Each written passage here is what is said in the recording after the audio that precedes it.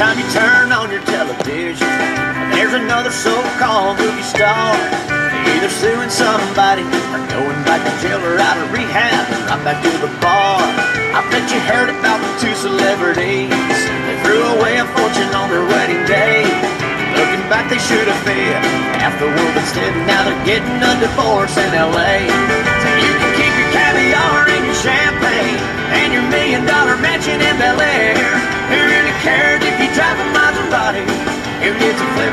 fancy clothes you wear? Cause all the money in your dog eat dog kind of world couldn't buy you a lick of happiness. No, Hollywood wouldn't know love if love walked up to. Hollywood a kiss.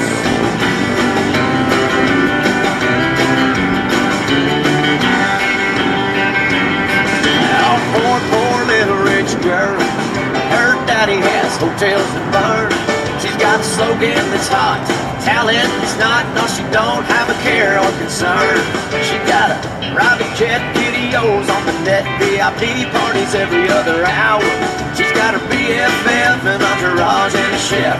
You go bigger than the Eiffel Tower. Honey, you can keep your caviar and your champagne and your million dollar mansion in Bel Air.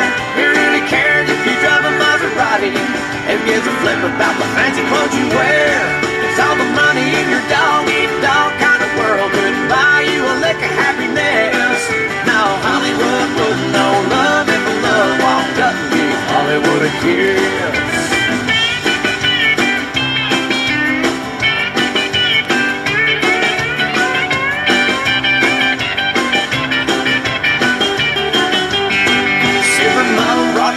hundred thousand dollar cars, treating life like a pleasure cruise. You know there's not a lot of difference between cheap toilet paper and the supermarket tabloid news. Now you can throw a hissy fit, you can blame it on the fame, on the pressure and the paparazzi.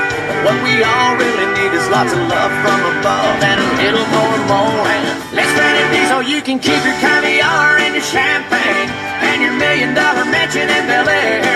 Who really cares if you drive a Maserati? Who gives a flip about the fancy clothes you wear? It's all the money in your dog eat dog kind of world Goodbye, you a lick of happiness.